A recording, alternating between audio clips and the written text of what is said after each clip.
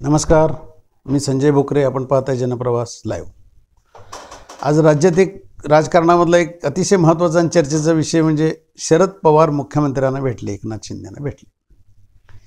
आणि तोच विश्लेषणाचा आज विषय आहे. आता अनेक जण त्याच्यावर विश्लेषण वेगळे वेगळे करतील.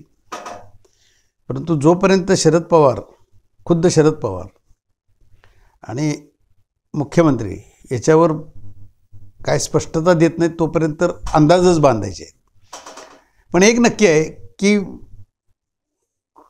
दोन दिवसापूर्वीच अमित शहा येतात आणि शरद पवारांच्या बालेकिल्ल्यातच त्यांच्यावर जोरदार हल्ला करतात टीका करतात. भ्रष्टाचारी आहेत अमुक आहे तमुक आहे सरदार.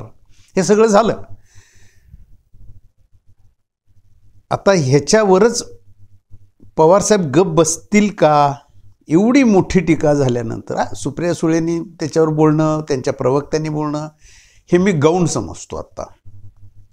पवारसाहेब उत्तर कसं देणार ह्याच्यावर? तर कृतीतनं देणार हे आत्ता दिसते आणि त्यातलीच एक प्रकारची ही कृती आहे एकनाथ शिंदेनाथ लगेच तातडीनं जाऊन भेटणं.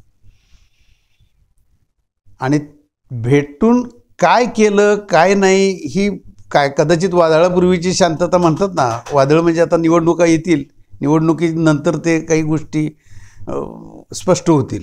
गटबाजी कोण कुठं कोण कुणाचं ते नंतर कळेल. कारण आत्ता सगळी महायुती आणि इकडं महाविकास आघाडी हे काय नंतर निवडणुकीच्या नंतर किंवा त्याच्या आधीसुद्धा काहीतरी फाटाफूट झाली तर ते आश्चर्य वाटून घेण्यासारखं काही नसतंय. परंतु आत्ता विषय अमित शहानी चौपेर हल्ला केला आणि शरद पवार हेच टार्गेट होतं त्यांचं. तर शरद पवार हे गप बसणाऱ्यातले नाहीत आणि त्यातलीच ही पहिली पायरी आहे म्हणजे एकनाथ शिंदे यांची भेट घेणे. भेट घेतलेली आहे. त्यांना काय गाजर दाखवलं हा चर्चेचा विषय आहे. आता आरक्षण. आरक्षण आता त्यांच्यावर धडधडीत सगळे आरोप केलेत अमित शहाने. आणि हे दिसतंय पण. पवारसाहेब असताना मग आरक्षण का दिलं गेलं नाही? आणि आ- आता जरांगी पाटील हे शरद पवारांच्यावर थेट आरोप करायला टाळतात. हेही दिसतंय. हे काही लपून राहिलेलं नाही आहे त्यांच्या मागं सगळा मराठा समाज जातो हे खरं आहे. त्यांच्या मागण्यासुद्धा काही आहेत. त्या चुकीच्या पण काही वेळेला वाटत नाही आहेत. ते आता शेवटी सुप्रीम कोर्ट ह्याच्यावर निर्णय देणार आहे. काही झालं तरी ते कोर्टातच जाणार आहे. त्यामुळे आत्ता हे राजकारणच होणार ह्याच्यामध्ये.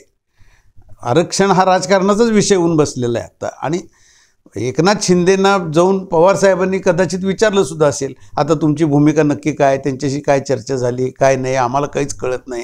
कळत नाही अशातला भाग नाही पवारसाहेबांना सगळं कळत असते. आज पवारसाहेबांना आज वि- विरोधी पक्षात जरी असले तरी मुख्यमंत्र्याला कळायच्या आधी काही गोष्टी त्यांना कळत असतात. एवढी त्यांची यंत्रणा सक्षम आहे आणि असंही बोललंही जातं. कारण एवढं ते एवढे वर्ष राजकारण करतात. आत्ता मात्र एक नक्की आहे की एकनाथ शिंदेसुद्धा भारतीय जनता पक्षानं अजितदादानं घेतल्यानंतर एकनाथ शिंदे गट हा सुद्धा नाराज आहे. राजकारणामध्ये ह्या चर्चा आहेत. का अजितदादांना घ्यायची गरज होती असं ते म्हणतात.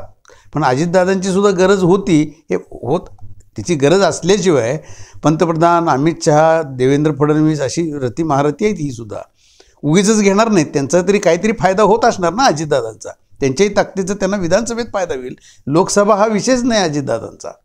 उद्याच्या काळात त्यांनीसुद्धा काही माणसं जोडलेली आहेत त्यांची त्यांचीसुद्धा काही पॉकेट्स आहेत. ते विधानसभेत त्याचा उपयोग त्यांना होणार आहे त्याच्याशिवाय त्यांनी घेतलं का? परंतु आता कसं आहे त्यांच्यावर आरोप केले अजितदादांच्यावर त्यांना बोलवलं उपमुख्यमंत्रीपद दिलं. मग शरद पवारांचं तसं नाही आहे ना? त्यांच्यावर आरोप केले तर त्याचं उत्तर ते का कृतीतनं देणार. तर नक्की कसं देणार? आणि काय देणार हेच इथनं पुढच्या काळात बघण्यासारखं आहे. आणि त्यातली ही पहिली पायरी की एकनाथ शिंदेनं जाऊन काहीतरी मोठं गाजर दाखवलेलं असणार आहे.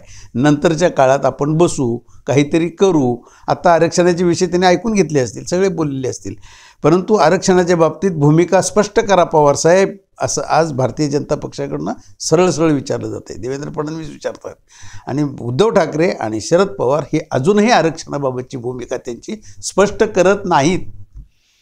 कारण ज जरांगेंच्या मागं जो मराठा समाज एकवटलेला आहे अशा वेळेला द्यायचं नाही नाही आता हे ह्याच्यावर आपण विचार करू म्हण एवढंच म्हण विचार करू एवढंच. त्याचे देऊ दिलं पाहिजे असं म्हटलं तर ओबीसी नाराज होणार आहेत.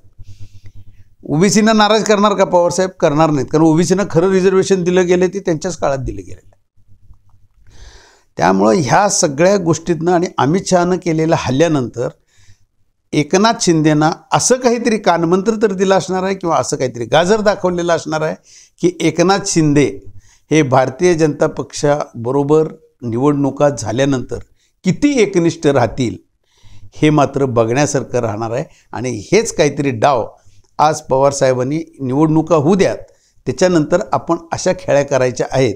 आणि त्यावेळेला आम्ही काहीतरी तुम्हाला साथ पण देऊ. अशा पद्धतीचं आश्वासनही दिलं असेल. बरेच आपल्याला तर्क मांडता येतील. पण एक नक्की आहे की त्यांनी काय गाजर दाखवलं हे मात्र लवकरच उघड होईल. आज इथंच थांबू. उद्या पुढच्या भागात.